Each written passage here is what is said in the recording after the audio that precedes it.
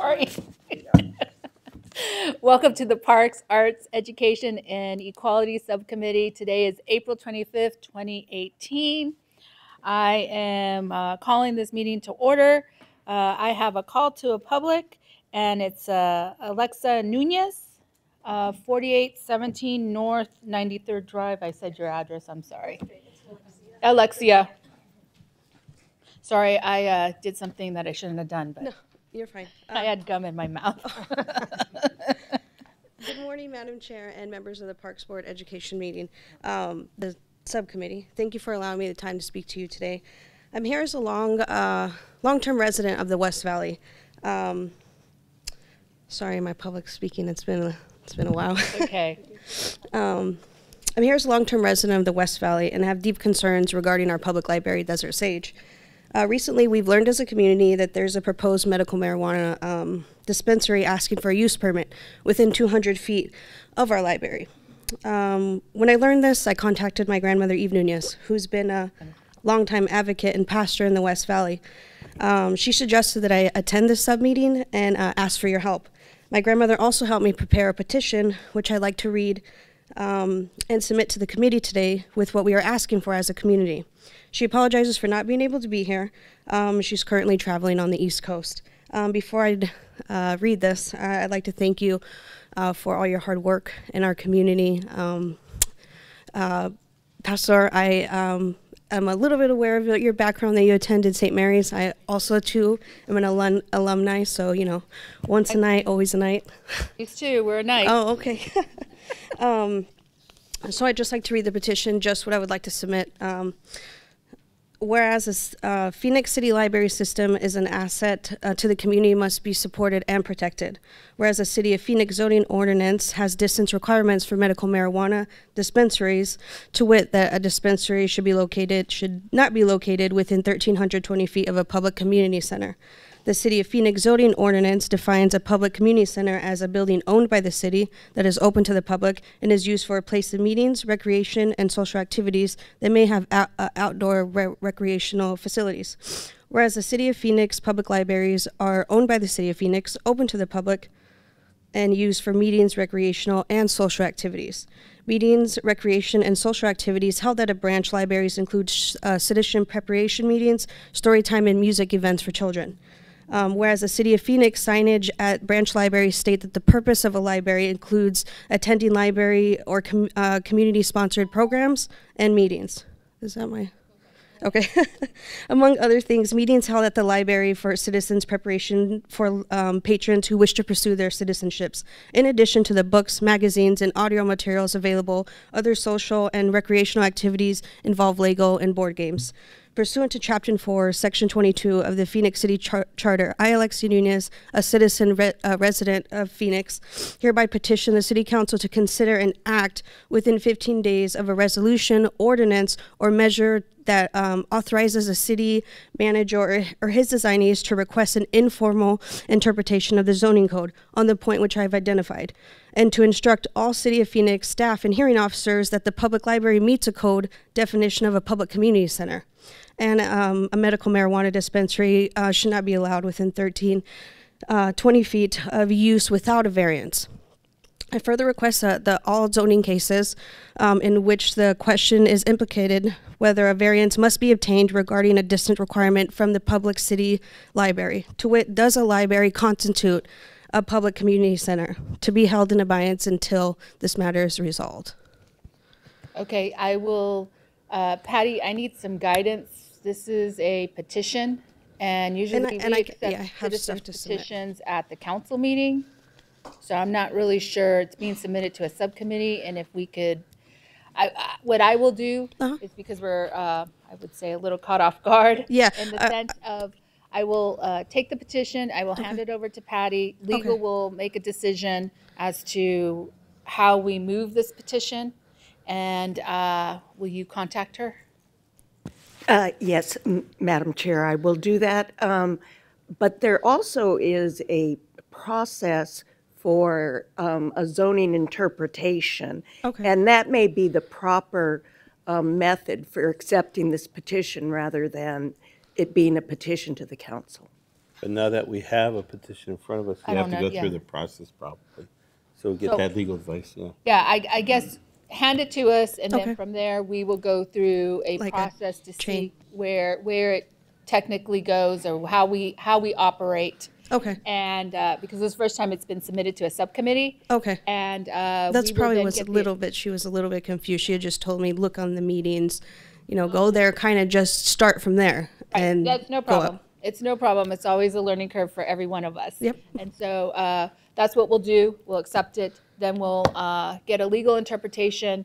And uh, someone from legal will contact you to tell you uh, what the next steps are. And then they'll have to let us know what our next steps are. Gotcha. So uh, thank you for submitting it. Uh, I do know that your mom's been obviously in Washington. She's Yeah. over there in She's doing a lot of work over there. following her. Oh, yeah, it's, it's fun. It's fun watching. Your grandma. Yes, yes. And you do look like her. Is it the red lipstick? I get that. All right. Okay. Thank you very much. Okay. So Madam Chair, can we, they make sure that we get Yeah. information back I'm. I'm assuming they'll let all of the council know All right, perfect. what to Thank do. you. That's a big assumption, but yes, I will uh, make that request. Uh, Item number one is minutes of the meetings, uh, March 14th, 2018. Do I have a motion? I move to approve. Second? Uh, There's a um, a fir- a motion and a second. All those in favor, say aye. Aye. Motion carries. Uh, Consent action items, uh, items two through four. Are there any questions? If not, uh, is there a motion? I will move to approve the consent action items two through four. Motion to approve? Okay, there's a Oh, a motion, second, I a mean, second I'm motion sorry. and a second. Uh, All those in favor, please say aye. Aye. Motion carries. Uh, Item five is information only. Does anybody want, uh, know the Head Start monthly report for February 2018? Everything's good. Okay, we are uh, now on item six. Uh, Item six is about the status of excess parkland uh, unencumbered by Phoenix Parks and Preserves Initiative fund repayment. Uh, I asked for this item to, uh, I asked for some uh, background work to get started and then to put this item today. Inger? Madam Chair and members of the subcommittee, I'm here today with Tim McBride, who's, who's the real estate administrator, uh, to tell you the current status of the um, property that we have that is considered excess, and I'll turn it over to Tim for the presentation. Thank you very much for the introduction, Inger. Uh, Good morning, uh, Chairperson Pastor, members of the subcommittee. Uh, Thank you for the opportunity to be here today to talk about excess parklands that can be sold to help repay the Phoenix Parks and Preserve Initiative, or as we like to call it, 3PI. Uh, To get started, here's a little background on the 3PI repayment. Back in 2013, City Council took action in response to ongoing deficits associated with City of Phoenix golf courses. That action was to direct staff to use about $15 million in funds uh, from 3PI to address the deficits and preserve uh, Phoenix Municipal Golf. Uh, Fast forward to 2017, in July, City Council passed an ordinance uh, directing staff uh, to return proceeds uh, from the sale of unencumbered parkland to 3PI for the next five years, or until that $15 million was repaid, whichever comes first. Since that ordinance was passed, the city has completed the sale of two park parcels, and their proceeds, about 1.7 million, have been transferred to the 3PI fund. Uh, the Parks and Recreation Department has identified an additional eight excess parcels whose funds are unrestricted and could be applied to 3PI. Oh, I lost a map. Uh, I've used the term unrestricted, so I just wanted to clarify what that is. A parcel is considered unrestricted when there are no strings associated with the type of funds uh, that are- were used to acquire the land originally. Uh, The city parklands have been acquired over time through a variety of funding methods, uh, general obligation bonds, water bonds, special impact fees, and federal grant programs such as community development blo- block grants and the Land and Water Conservation Fund. Many of these funding methods impose restrictions on how the proceeds can be used if the properties are sold. However, there are some parklands that were purchased with general obligation bonds that have been repaid, or uh, they were donated to the city by private individuals with no restrictions. Parcels such as the- as these are considered unrestricted. Uh, Just this, this is kind of a bird's eye view of where the eight uh, different parcels are located across the city, and we'll take a quick tour of those. Um, This is the first one. Uh, It's uh, undeveloped parkland, about 10 acres near Stetson Loop and Happy Valley Road in Council District 1. The next parcel is five undeveloped acres on the north end of Rose Mofford Park. That's at uh, Peoria and 25th Avenues in Council District 3. This parcel is currently under contract with a buyer, and we hope to have it closed by mid-June. Next, we head out to the Camelback Ranch uh, Spring Training Area. This is near 107th Avenue and Camelback Road in Council District 5. This vacant land is about 14 acres and was recommended for disposal uh, via broker by the Sustainability, Housing, Efficiency, and Neighborhood Subcommittee last month. So pending uh, approval by the full council and appraisal, this one should be on the market by summer. Also in D5, uh, we have 15 acres of undeveloped land. This is near 95th Avenue and McDowell off the 101. Switching over to Council District Number 7, we have 12 acres of undeveloped parkland at 79th Avenue and Thomas Road. Also in D7, uh, Parks has a small lot, just about a fifth of an acre. This is at 20, uh, 3725 West Sherman Street. D7 also has some open land adjacent to Cuban Park near Buckeye Road and 31st Avenue. An RFP process was completed on this lot, but there were no bidders. Uh, The final of the eight properties is also in D7. This is a small commercial building and some land at Woodland Park near 9th Avenue and Van Buren Street. So next, Inger will describe uh, the- uh, the decision process that the Parks and Recreation Department follows before disposing of properties. Thank you, Tim. Oh, sure. Again, uh, as you may remember from previous conversations, uh, we have a uh, a five-step process that involves going to the community um, after someone has expressed interest. Uh, We do require that the person who's expressed interest do all the processes, uh, go to the community twice for two public meetings, go to the Village Planning Committee, but then also come back to the Parks and Recreation Board. And then after that, they'd go to the subcommittee and to the full council for disposal if, if we got that far. At any point, the process can be stopped if it's deemed that the community doesn't really want to sell the property and they would rather keep it as a, a a vacant parcel until such time that we have the funding to not only build it, but operate it. Uh, And with that, um, would answer any questions. So um, this item, I asked uh, Phoenix uh, Parks and Recs Director to meet with each council person uh, regarding the parcels that were, uh, could possibly go up for sale. Inger, what was the response? Because I don't want to step on anybody's toes as we move forward. Uh, So last week, uh, I gave all the parcels to um, the various council districts, um, and I have not heard back from any one of them that they are not interested in at least going to the community and considering Okay. uh, a conversation about what they want to see happen with that property. Okay. Uh, Councilman Nowakowski, you have uh, three properties. Actually, four. Four? Okay. So, um, the one on 79th Avenue and, and Thomas, um, there's two schools there, so we'd really like to maybe reach out first to the schools to see if they're even interested or what would they like to see right behind their schools.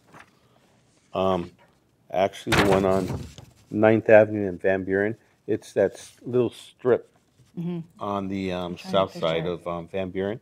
Okay. So we have, um, University Park, so right across the street from University Park, there's that Oh, little strip yeah. of trees and some green space. So there's, um, there's some interest, different people. One person wants a parking lot for maybe a potential theater nightclub. Others would like a dog park. I think that's something that we've been working on the Van Buren. We have a committee of individuals that, um, we're trying to bring that up to, to life, sort of create a, a Roosevelt Row atmosphere down there. So I'd like to have some time to maybe meet with the community on that one. But the um, Sherman Park, um, the Sherman, right off of um, 37th Avenue in Sherman, it looked like it was a residential area at one time. So I was just wondering if we know what the zoning is for that. And the only concern that I heard from individuals is that it wouldn't be some type of um, commercial property or anything like that. It would s- fit the character of the neighborhood. Madam Chair and uh, Councilman Nowakowski, uh, our belief is that, um, and it is zoned residential, but our belief is that that would probably be just an infill house, is really what that would be. And that had, I have no problem with that then. And then the, um, the Buckeye and Thirty-first Avenue, the, um, we actually sent that out to, um, to a bid and nobody actually uh, were interested in the R, RFP on that one. So the school's very interested. It's actually a gateway into our, um, park, Cuban Park. Um, they were just wondering if there's some kind of a long-term agreement or IGA with the city that we can make, and they would love to build a parking lot where it can be accessible to their community center and at the same time to the park itself, if Madam- that's possible. Madam Chair, uh, Councilman Nowakowski, we uh, actually were working with the previous administration, and there's been an administration change, and so we just need to go back. Um, We were trying to uh, see if they were interested in the IGA, and at the time, the current, the previous administration wanted to purchase it outright. Um, But I think we might be able to go back and just see if they're willing to enter into a long-term IGA. It benefits us from the Parks Department, because then it is access and it's additional parking. So it's, a it's it would be a win-win if that's the way we can go. And then the, um, the other property that's right there at Margarita Park, is that, I know that was on, the- it, I didn't see it on the map, but I It's we've been actually, talking um, about that. that, that property is actually uh property that is uh, the school district's property. Right. Um, And we're working with them on that as well. Okay, thank you. So my question on the long-term lease, would then that uh, funding then go into the 3PI? Madam Chair and members of the subcommittee, if it was a, a lease purchase, or if it was an IGA, it would just probably be a nominal fee, because we would share parking. Um, But any monies that were acquired from these properties would go back to the repayment. Okay, that's what I wanted to know. Okay. And Mrs. Chair? Yeah. I was just wondering if you can give just like a quick brief of how we came up with these five steps, because I was, on- I was actually on the council when that happened, so.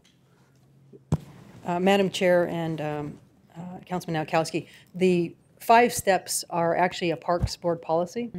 And it used to be eight steps. And so they asked us if we could go back and try to shrink it to make it a little bit more palatable for anybody who's interested in, in purchasing the, um, the property. And so working with um, the, the Parks Board and working with uh, the folks who were instrumental in creating the policy to begin with, uh, we were able to uh, reduce the amount of time it took and reduce the amount of steps to five steps from eight. So in theory, it should take less time than it- the eight-step process. So I guess once we take an action, looking at these steps, what's the possibility of us seeing it at council? So, uh, Madam Chair and uh, members of the subcommittee, what, what I would expect is, we first want to take the pulse of the community, is this something you're interested? And then we would put a sign on the lot that says this property's for sale, and we would see if we could get interested people to go through the process. Oh, go ahead. So if we made some type of motion, it would still involve the council district being a- an important part of the process? And the Village Planning Committee as well, Okay, yes. all right. Thank you. I just want to make sure.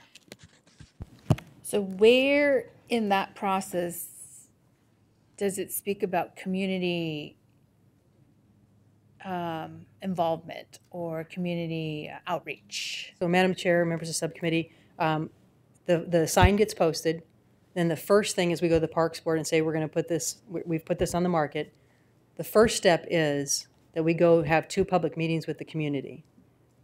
And that's the very, that's the very first step after the, the Parks Board says go forward, which they've already said by putting it on the list. Okay, so the letter of intent uh, feasibility analysis has already happened? No, that would come, that would come after the community says we're interested in doing this. And there's a checklist that we have that goes through and says where are the closest parks, um, what kind of amenities uh, are around. So technically, it's not five steps. I- i- It is. It- I mean, what I'm saying is, after the you're- public yeah, yeah, exactly. Well, again, So that- the- The first step should be public outreach. And that is something we're adding. And then adding. the second step should be Later.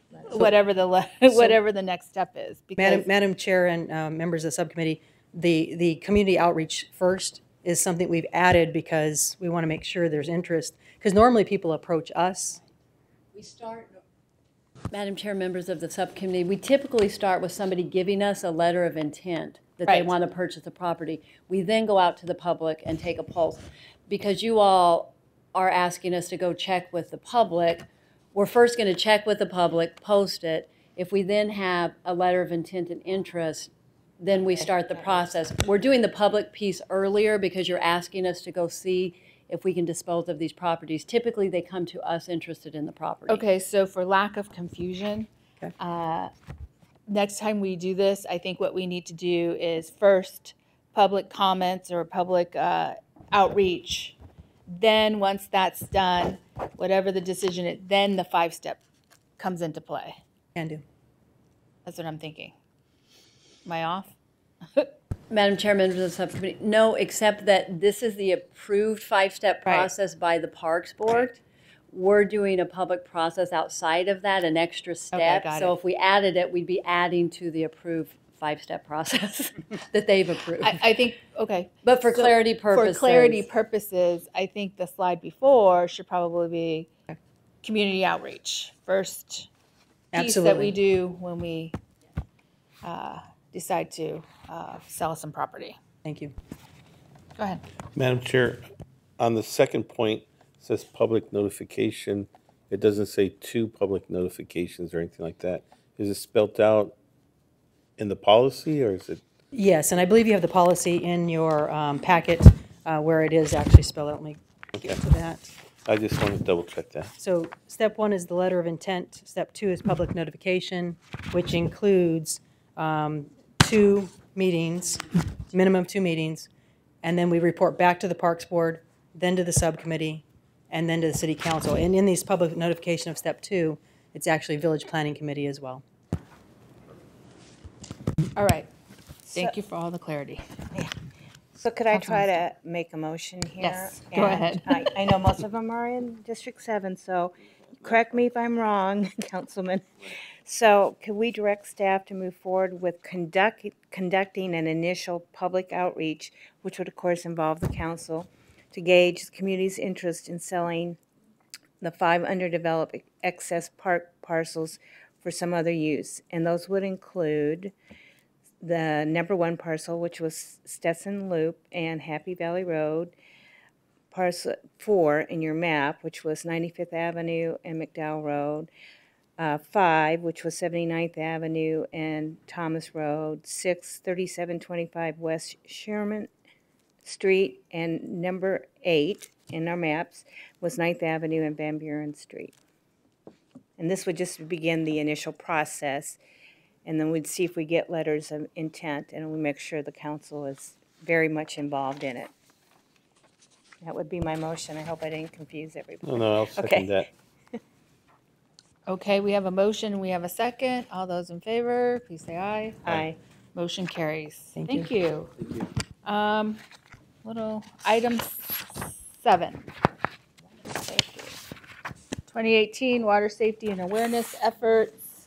Uh, This is very important as the summer has, uh, maybe say spring, but I believe it's summer now. Kids are in water, at least my kids are. Madam Chair, members of the subcommittee, today I have uh, Division Chief uh, Daniel Cheatham and Aquatic Supervisor Becky Hewlett, who will be providing uh, the report on the joint efforts uh, between the Fire Department and the Parks and Recreation Department uh, in water safety.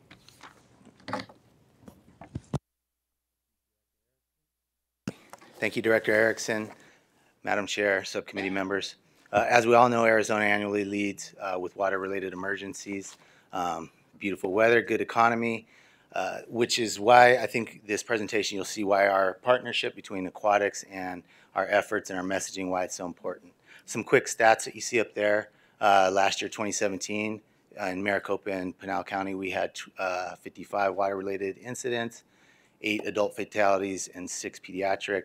And up until, from January of this year till April, you see we have uh, seven uh, related incidents, one adult and three pediatric fatalities. What you don't see up there is since 2011 to 2017, we've seen a downtick in those emergencies despite the growth of the valley. And I think that uh, directly correlates to our messaging and our efforts, which we'll talk more about um, here. So um, what I'd like to do is have Becky uh, talk about our SOS program, which is part of that messaging. Good morning. Thank you for having me here this morning.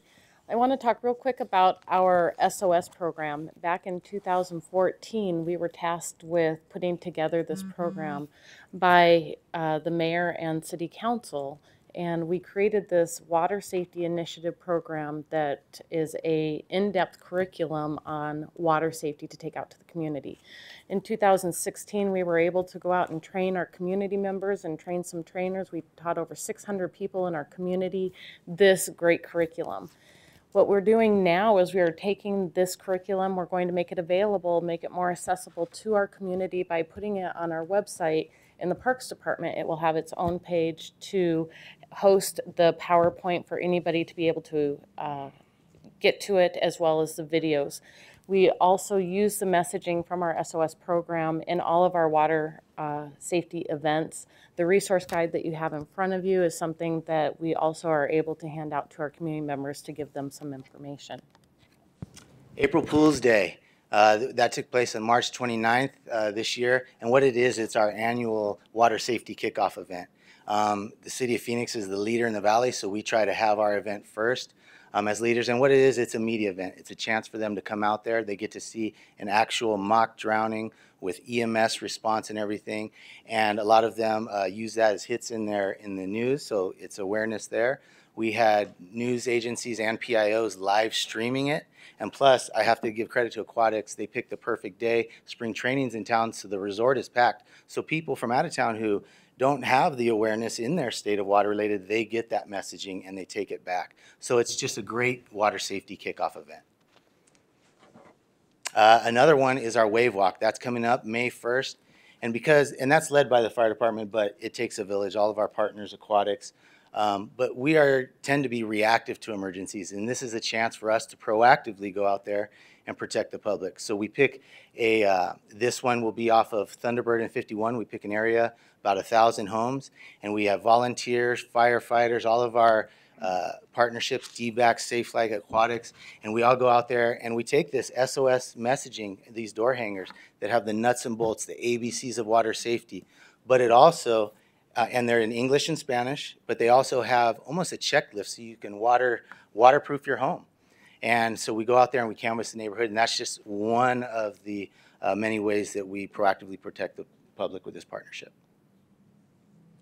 So at our pools uh, throughout the summer, we, we work with Cigna Healthcare. They've been a longstanding partner for us, and they provide us the opportunity to educate our youth in our communities. We, we serve over a thousand people, a thousand kids in our communities in these different programs, Cub Club, Discovery Guard, Junior Lifeguards, and Lifeguard Academy, really reaches those kids that are seven to 16 years old that are interested in water safety, and it gives them a place to go. These, this is free of charge for these kids, and it's a way to, again, educate uh, our, our community on water safety awareness. Um, we also offer swimming lessons at all of our pools. We are getting ready for registration, which will take place tomorrow. So we offer over eight, 18,000 swimming lessons in a summertime at the City of Phoenix pools. Last year, we had uh, over 17,000 participants that uh, took these classes and learned how to swim, which is one of our layers of protection against drowning and really an important piece aspect of what kids need to learn as well as adults. We have a lot of adults in our community that do not know how to swim that also need to learn how to swim as well. We work with the Diamondbacks. Uh, they provide us funding that allow us to continue swimming lessons in the month of August. Thanks to their sponsorship, we we are able to offer another thousand swimming lessons in the month of August, and we're able to discount all of those lessons to $3 for everybody at all of the 11 pools that are open throughout our entire community. Uh, water safety events and education. Uh, again, aquatics, they do a great job of sprinkling events all over the valley so that everybody's exposed to uh, these fun events plus the safety messaging that's there. Um, and so our partners usually uh, sponsor one, but they're held in, in all of the different districts, so everybody gets a chance to uh, get the water safety messaging. There's CPR that's taught there, information about uh, the swim lessons. Again, we take this SOS messaging there, CPR, DVDs that you have in front of you, English and Spanish again. Um, But not only do we use those events that are spread out uh, across the valley, we supplement those as we go into schools and educate them. Uh, The fire department itself, we visit annually about 30 schools and impact about 8,000 students. But it's not just the students that we're impacting because, again, this SOS messaging, all our water safety, it goes home. And in a way, we hope that it uh, infects the family, if you will, and they all get exposed to that. So um, that, and then Buddy Bear uh, has even more visits than we do, so. So, so Buddy Bear is our, our mascot who, uh, Where is Buddy Bear today? Buddy Bear He's is resting, getting ready for those swimming lessons for that registration that we're going to take place tomorrow. But he is very busy throughout the year. He, we, on average, visit about, make 150 visits annually and touch about 40,000 community members, whether that be a meet and greet, it could be a puppet show, it could be a water safety presentation. So Buddy Bear keeps busy, and it's our way to continually touch our community and talk about water safety and have that, that opportunity. I would like to take a moment to thank uh, Madam Chair and Councilman Nowakowski and Councilman Valenzuela for the opportunity to put together the SOS program. I think it is a really great uh, curriculum that we're able to share with our community to really educate our community on water safety and help with that downtick in those statistics that, that are, that we've seen over the last 10 years. I think our dollars, uh, by putting efforts into this, are saving lives. So I think that's the best well-spent dollar if we can save a life. So uh, thank you for your efforts. Thank you for all the work that you do because you guys are busy during the summer. So appreciate the news. Thank you. for your support. Thank you. Uh, We have uh, after-school programs, item eight.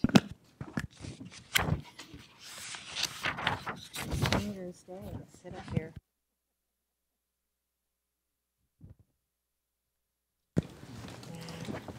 Madam Chair and uh, members of the subcommittee, uh, today I have uh, Tracy Crockett, the Assistant Director of the Parks and Recreation Department, here to talk about the programs that uh, are under her purview, uh, which are after-school, uh, the after-school programs, uh, Phoenix After School Center, as well as mobile recreation. So I'll turn it over to Tracy and her staff to do the presentation. Good morning, Madam Chair, members of the subcommittee. Today, we're here to highlight two programs that service youth in after-school settings um, at various locations that provide recreation and education. Um, So first, here to discuss our PAC program, our Phoenix After School Center, I have Cynthia Aguilar, who's our Deputy Director for our Downtown Division. Good morning, Madam Chair, members of the subcommittee. Happy to be here with you to, uh, to present a brief presentation on the Phoenix After School Center program, more commonly known as PAC. PAC provides a safe and enjoyable environment for children 6 to 13 years of age during critical after-school hours, Monday through Friday, at 38 schools throughout Phoenix. Currently, 1,800 youth are registered, with over 1,400 of these children attending on a daily basis. PAC offers families a high-quality after-school program at an affordable rate. Fees range from $30 to $65 per session. For families who enroll for all four sessions, this comes out to 120 to $260 per year. We do have one site that is an exception to this in the Kyrene School District, which is a full cost recovery site. While PAC is an affordable option, we still have family uh, scholarships for families available in need of financial assistance, and those scholarships are made available through donations by local neighborhood groups and nonprofit organizations. Uh, here's a list of the current school district where PAC is currently being offered. Uh, there are two schools noted that are charter schools, that's AmeriSchools and ASU Prep. Over the years, a variety of criteria has been used to identify schools where PAC is offered. Uh, criteria includes a lack of other nearby affordable after-school program options for their students, schools' willingness to provide adequate space at no cost to the city, perceived need by the neighborhood, and also the percentage of free or reduced lunch rates for those schools. During the program, children participate in a variety of structured age-appropriate activities that focus on key program components, including educational enrichment, physical activity, arts and culture, civic engagement, and nutrition education. Daily activities are programmed around weekly based themes to keep children interested and engaged. Weekly lesson plans are developed and provided to all 38 sites to ensure the program's quality and consistency amongst all 38 sites. Some program components, such as homework assistance, physical activities, reading, and arts and crafts, are delivered daily, while others, such as STEM related activities and nutrition education, may be provided on a weekly basis. Activities are facilitated by trained recreation staff. Each PAC site is managed by an on site recreation leader. This position serves as our on site supervisor and also the key contact to parents and school administrators. Currently, PAC is allocated 127 part time positions to manage these 38 programs. This staffing level allows us to maintain a maximum 1 to 20 staff to participant ratio. The overall program itself is managed by full-time recreation coordinators and a recreation supervisor who are in attendance today um, in the front row to my right. So I'd just like to recognize them for all the hard work that they do every day. Our parents continue to show they are very pleased with the quality of our program, with close to 100% satisfaction in key areas such as safety, quality, and affordability. Annual surveys are also distributed to principals and participants to ensure satisfaction with the program. Uh, the current school year is getting ready to wind down, so we're preparing for the 2018-19 school year, and registration will begin for those programs on July 12th. Uh, parents can learn more about PAC by visiting phoenix.gov/parks. And with that, I'm going to turn it over to Shantae, who's going to go into uh, another after-school program we provide. So I'll just briefly introduce Shantae. Shantae Johnson is a recreation coordinator too in our South Division, and so she oversees our mobile recreation, and she'll give you an update. All right, thank you, Madam Chair and subcommittee members. I'm happy to provide this update today. So just to begin with, the mobile recreation operates uh, Monday through Friday. Uh, we run from 4 o'clock to 7 p.m. And then we operate on the school year calendar, so we're on a set calendar with the school year. Now, the focus of the program is to visit parks that don't have an existing recreational program or a brick and mortar type of establishment.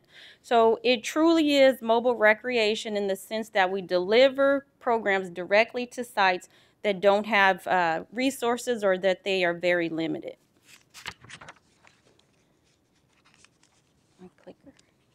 All right, so just a bit more uh, brief overview of the program.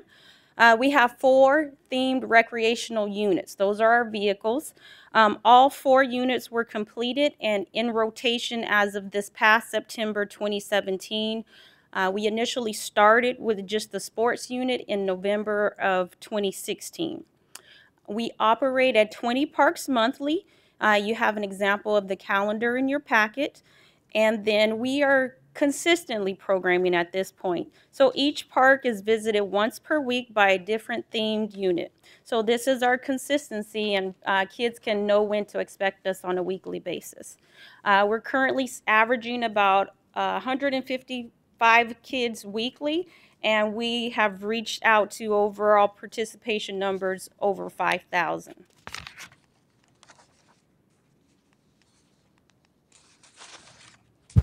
All right, so programming components, we'll dive a little bit further. So each of the uh, vehicles uh, were designed with a unique theme and programming focuses around that.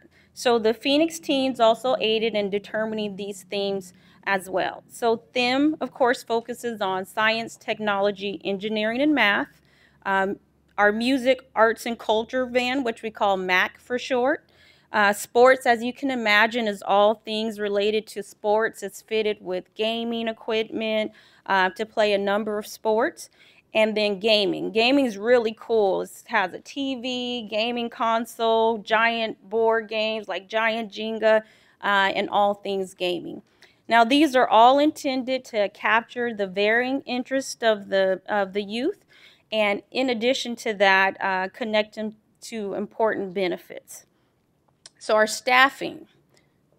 So current staffing levels, we're at full staff, uh, myself being the recreation coordinator, and then we have five recreational leaders and four recreational instructors. And then, of course, we utilize a number of partnerships to uh, aid in our program enrichment.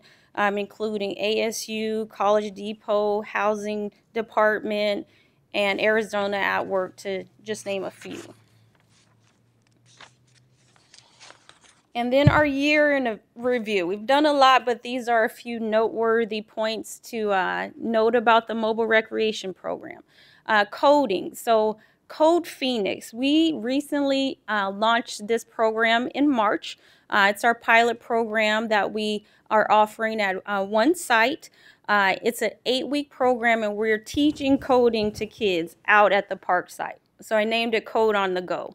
Uh, if you look at the pictures there, you can see they're outside with their laptops. The second picture is of them interacting in some what we call unplugged activities uh, to additionally learn uh, the coding concepts. Uh, and then special events. We've participated in 12 special events this year, this fiscal year. Uh, we were able to interface with about 2,000 youth through the special events and outreach to the tens of thousands. Um, we've participated in the APS Electric Light Parade, the Pride Parade, the MLK Festival. Um, we'll be at Dia de los Niños this weekend and soon uh, out at 4th of July. And then moving from there, uh, lastly, state and national recognition. So these are just great things for the program. We have had our um, Arizona Parks and Recreation Association and our National Parks and Recreation Association. These are our professional associations. They've recognized the mobile recreation program for its uh, innovation. Um, and then we were able to tour uh, city of Tucson. They even came down and we provided them some demonstrations about our program and, you know, uh, gave them some insights about what we're doing. And uh, just recently, even city of Tempe reached out to us um, to provide you know, some insight and uh, mobile recreation and all that it can do. Um, so that pretty much sums it up. And so um, we are thankful with the uh, direction and support of the council that we're able to provide recreation and again education in diverse um, and various locations for our youth. And with that, we're happy to answer any questions. I have uh, three uh, cards on item eight. And so I will uh, hear the uh, citizens that want to speak. Gloria Baldonado? Fortunately, she had a doctor's appointment. She did have to. Okay. All right. Frank Montano? Frank? No? Okay. Maria Martinez?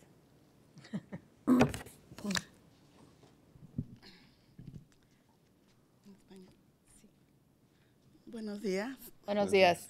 Ah, yo soy mamá de un niño que participa en esas actividades en el Parque Edison.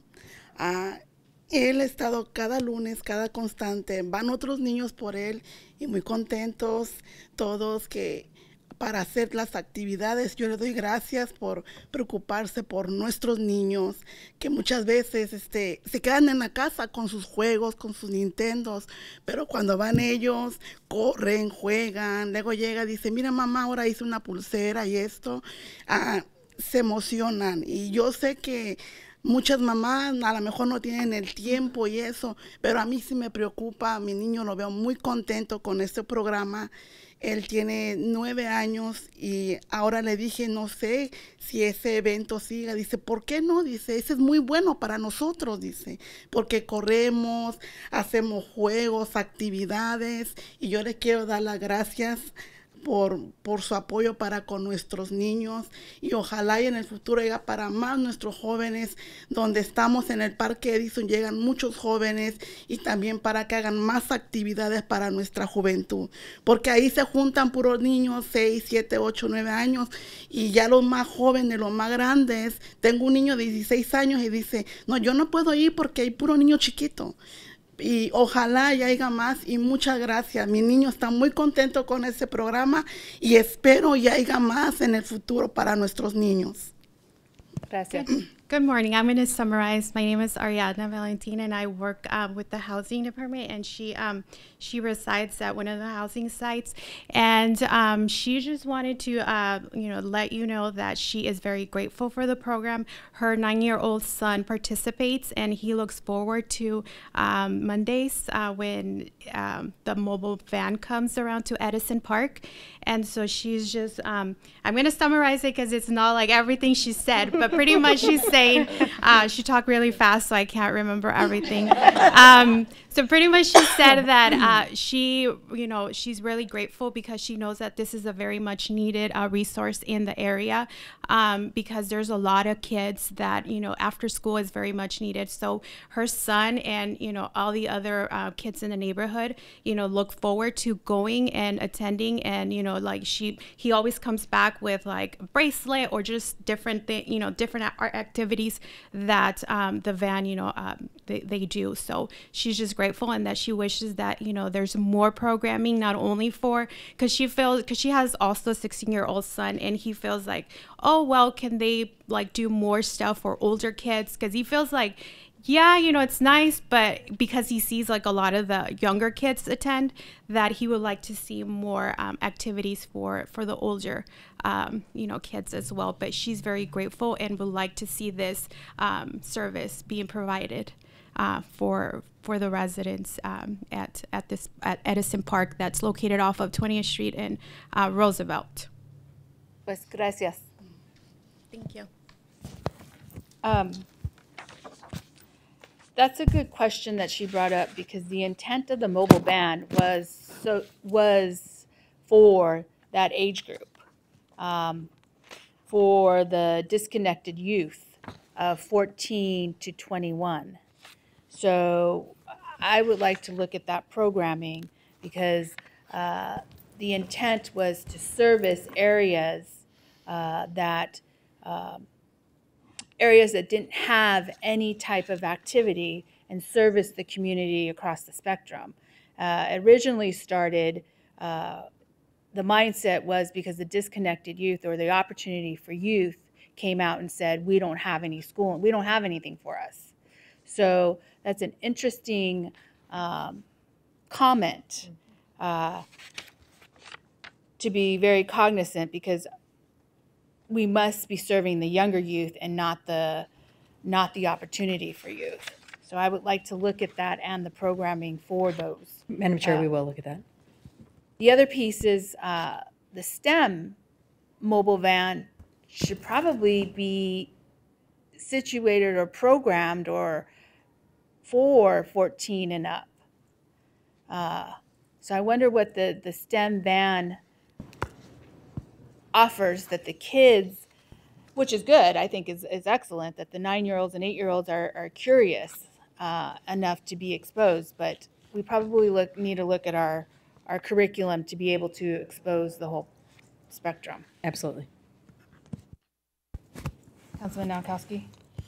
You know, I agree. I think that I have six children. They're the age from four to 16 years of age. And I know that our 13 to 16 year olds kind of hang out together and they kind of do their own little thing. And the, the four year old to 12 year olds kind of fit in a little group. So maybe when it comes to programming, I know that y'all, y'all do that already. I know that we gear towards, what is it, seven to about 17 or so. And then um, I know that some of my kids participate the Chavez one, and that they do split them up in different groups, and they have activities and stuff like that. But maybe um, we can start to educate the the teenagers, because sometimes when they see their little brothers go there, or little sisters, they kind of shy away from that. Pero I think that's really important. Pero el programa, te quiero decir en español, her in Spanish. Yo creo que el programa es para, para todas edades, ¿no? De 7 a 17 personas um, que son teenagers que le dicen en inglés y creo que es algo muy importante que digas a tu hijo que no tenga vergüenza que venga y que, que juegue con los niños también, que ese programa es para todos, ¿no? Ya. Sí. No, pero qué pasa es que muchos de los niños chiquitos van y los que son más grandes tienen vergüenza y pero el programa es para ellos también. Gracias. Pero veces- también él, oh, Ok. sorry. él puede dar un ejemplo de todos los niños chiquitos y enseñarlos también. Una maestra. so I was telling him that this program is really for everyone. That you know, sometimes being teenagers, you shy away from hanging out with the little kids, but they need to come in and and they'll create some kind of a program for those older kids too. And and then Laura was saying that maybe he can even become a mentor for the younger kids and and participate as a mentor also. So programming was supposed to be designed with partners to also work on job applications, resumes, uh, even possibly personal statements. Doesn't sound like that. And Madam Chair and uh, members of the subcommittee, I'm going to let Shantae talk about the partnerships we do have um, with some of the groups. So um, our partnerships and uh, include, you know, partnerships with ASU. Um, we've also uh, partnered with College Depot. Uh, some of those programmings, as as far as, as far as job related, um, are things that we're currently developing. As the program is still in its first year, we um, launched in September, and we're um, developing, uh, or well, with all four units, uh, and getting programming. Uh, that would include uh, teens as well. Okay. And we- Programming was supposed to have been done. Yeah, pro- It is pro- done. it is- yeah. So, Yeah. okay. Yeah, programming is done. So I, I think one was of the, to, Madam Chair, programming should have been done for the teenagers. Yeah. I, I'm just, the reason why I'm pushing back so hard is because I was a champion and worked very hard with the Opportunity for Youth population to develop this mobile van. And I'm just the programming exists, Madam Chair. a little confused. The program exists. I think what we have uh, difficulty in, kind of uh, to what Councilman Nowakowski uh, noted, is sometimes it's harder to get the older kids there, and so we've had to adjust our programming. Um, but we need to get them there, and so we need to find ways to to encourage them to to come. So the program exists, um, and and we just need to we just need to make sure that we get the right age groups. We've had to make some adjustments when, if their kids come that are younger, we have to kind of uh, adjust a little bit there. So if, if that's correct. Yes, it is. And uh, we have binders for each of the units that are programmed. So it is intended for, I mean, it's the Phoenix Teens Mobile Recreation. And these are things that we are, um, imp, um, I would say, adding to, making adjustments to, you know, do better at uh, reaching uh, teens as well, as that is the intention.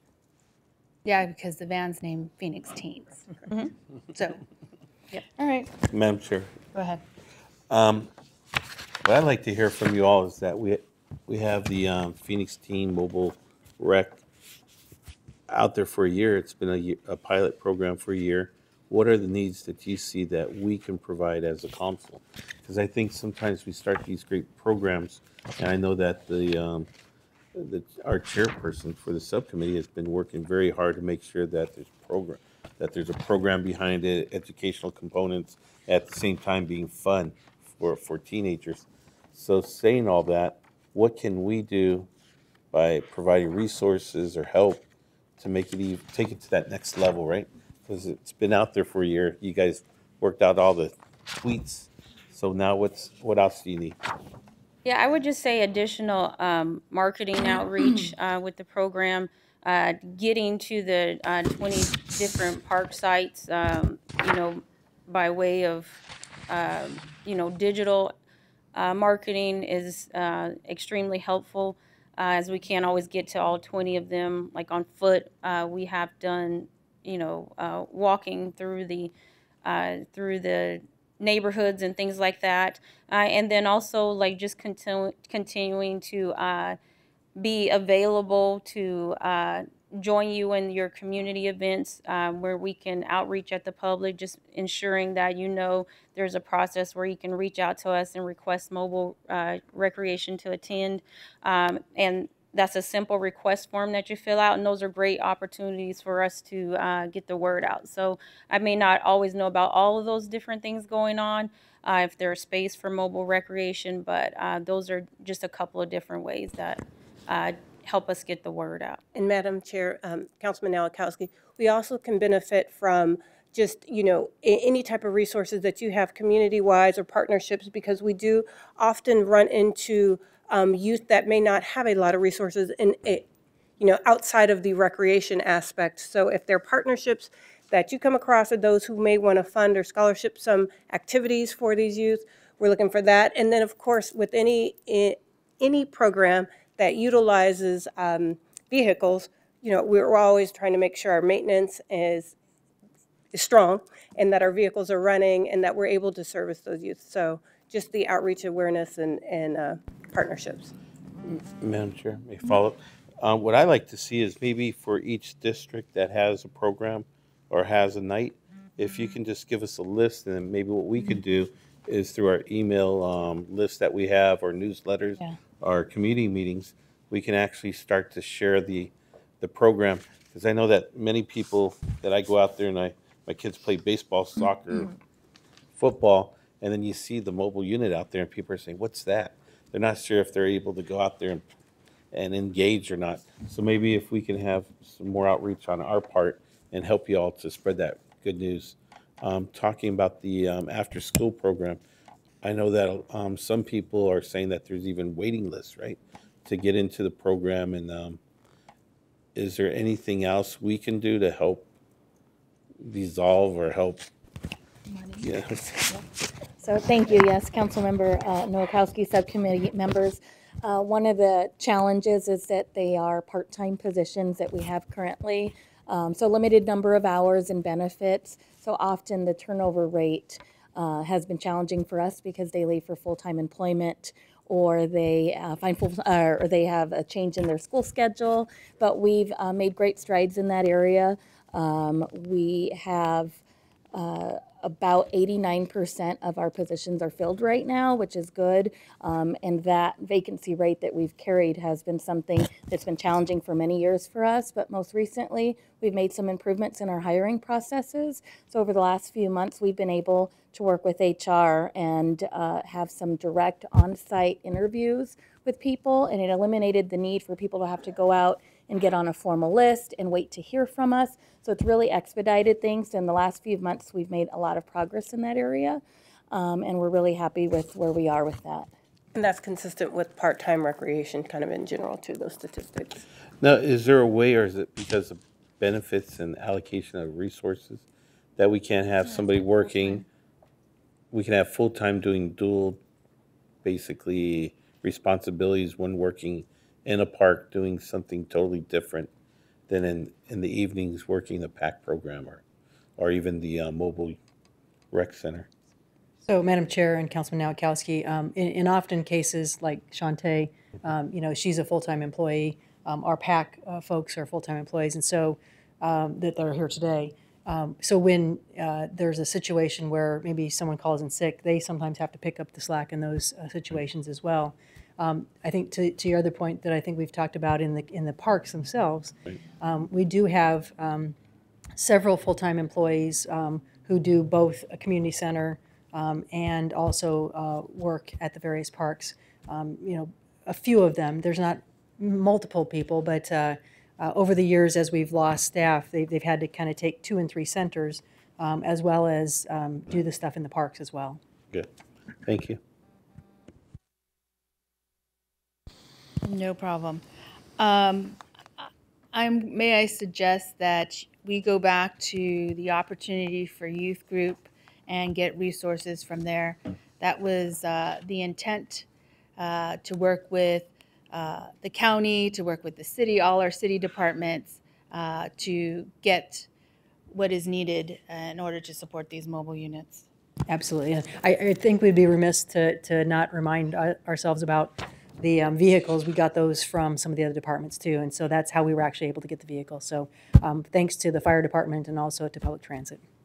I just got a text from Felicita, my assistant, saying that we do get a list of all the parks. We do um, put on our Facebook. so, you, so you all are doing your job. Thank you. We're just making you aware. We got it done already. What your, So what your office is I'm doing. getting aware now. All right, thank you very much. Uh, Item number nine is the Parks and Recreation Board agenda.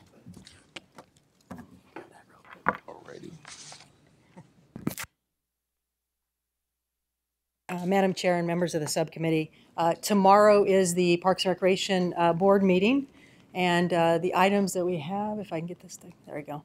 Information only items, uh, Hance Park update, the status of where we're at, where we're going to be going with getting community input. The roles and responsibility of the Parks Board members, we've had a couple new members, so we want to make sure they understand their roles and responsibility. The American Indians Veterans Memorial, Can I ask a question? yes. Roles and responsibility, you're reviewing that because, We had a new member who um, Okay. didn't uh, necessarily understand what his roles and responsibilities were, and so we want to make sure everybody's all on the same page. got it. So we'll review the charter, that sort sort of thing with them. The American Indians Veterans Memorial at Steele Indian School Park, this is a group that has an agreement with us several years ago and um, kind of uh, got silent for a minute, and now they're back, and they want to see about uh, putting the memorial there. Is it the USS? No. uh, Okay, this that's- this this is a yeah. different group. Yes, Okay. yeah. Uh, The proposal to ban smoking at parks, uh, we had a pilot uh, uh, program over at El Oso Park, and this group the- of youth, uh, students from uh, Trevor Browne, would like us to take it citywide, and so we're going to talk about uh, how that can happen. The Parks Preserve Initiative repayment update, we have that on every month as well. Information and discussion, uh, the city budget update, just to let everybody know where we're at uh, in the budget process, specifically with the Parks and Recreation Department. And as you may recall, there's two rangers that are uh, currently uh, noted in the budget uh, for helping with Flatland Parks. Consent items, um, Farmers Market at Roadrunner Park, Daring Adventures, an operating agreement to uh, almost uh, go full circle. They started uh, as a city program and through budget reductions, uh, lost the program, but a nonprofit kept it going. And they're, they're coming home, in a sense, to Telephone Pioneer Park. Rosalie Park Master Plan, uh, approval of the master plan that the community had lots of input into what they wanted to see at their particular park. Uh, Consent items continued. Uh, We have to go back. Mandan Street design was approved, and it's in the preserve, and it's to protect some homes uh, from flooding situations. They had to redesign it, and it was significantly different from the first design, so we're coming back for approval of that. Papago Golf Course uh, Road renaming, uh, that's going to uh, go before the board, as well as a uh, group that'll help us uh, get more golfers in. So a third-party online tee time service provider called um, Golf Now. Policy items, naming of a park at Reach 11, the Lost Lake Festival Park Hours extension, and then we added yesterday the Aya Park renaming uh, resolution at, at the direction of the council to take it forward to the Parks Board. Uh, And with that, I'll answer any questions. I was, yeah, I was looking for that one because I didn't see it on my packet, but we added it on. Um, Could you please kind of explain the proposal of the ban, uh, to ban smoking at the parks? And explain the pilot and uh, what the intent is? So uh, several years ago, two years ago, um, the uh, students, stand students from Trevor Browne came to us and wanted to do a pilot uh, near the playground because that park is situated between a high school and a grade school. And they uh, were seeing the effects of uh, possibly the, the observation of people smoking, but also the, maybe the negative effects of secondhand smoke, that type of thing, uh, on their brothers and sisters and their younger siblings. And so they asked us to do a pilot. So we did the pilot, um, and we uh, noticed that there was a decrease when we put signs up that said smoking was not allowed in the park. We noticed a decrease in cigarette butts and things of that nature uh, in the park. And so uh, the stand group from three or four other schools got together and they came uh, to meet with uh, myself and, and some of our staff members to say, well, can we take this great idea and move it on to the rest of the parks? And so that's what the intent is now is uh, to talk to the community about it. So we're just giving information to the Parks Board. We will talk to the community about it. We'll do some surveys in the various parks, um, especially those around high schools. Um, and we're trying to encourage more stand programs to come forward uh, so that we can really make this um, a, a valuable thing across the city of Phoenix. Now, I know they have a, Stan has a group statewide. I don't know how many groups are in the local urban area. We had three different schools uh, come, and I think they're trying to expand that to other school districts. Okay. All right. Are there any other questions on the board agenda? I was just, I was gonna ask because enforcement on that, can we actually enforce that, a ban, or is it just, Uh, Once, uh, once we gather and garner all the information, um, I do think it is something that we could take forward as an ordinance. Um, Okay. You know, it is something that ha- would have some legitimate teeth uh, if that's a direction that uh, the the council wanted to go once we get the information.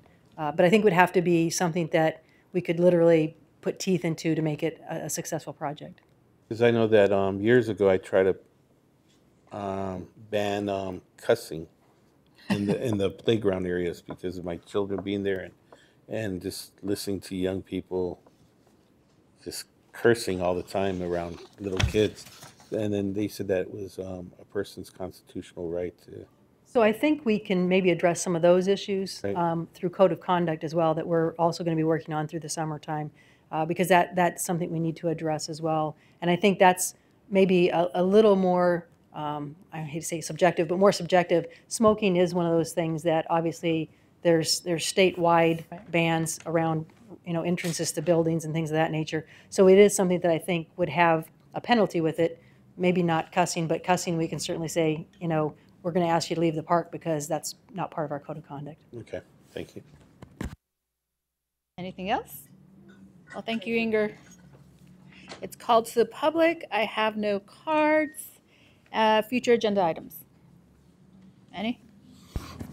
Nope. Maybe we Oh. could put that, um, that petition on there. Oh, yeah, the petition. Well, what, I- I mean, if it doesn't go through, whatever. If it doesn't go through the council or whatever, then. oh, we okay, can you want it as actually- an agenda item. Okay. Agenda item, seeing if we allow um, um, marijuana dispensaries within so many feet from our libraries. Right, Correct, right. uh-huh. Yeah, correct. Uh, We'll add that to the agenda if it doesn't move through the other channels. All right, meeting adjourned. Thank you. Thank you.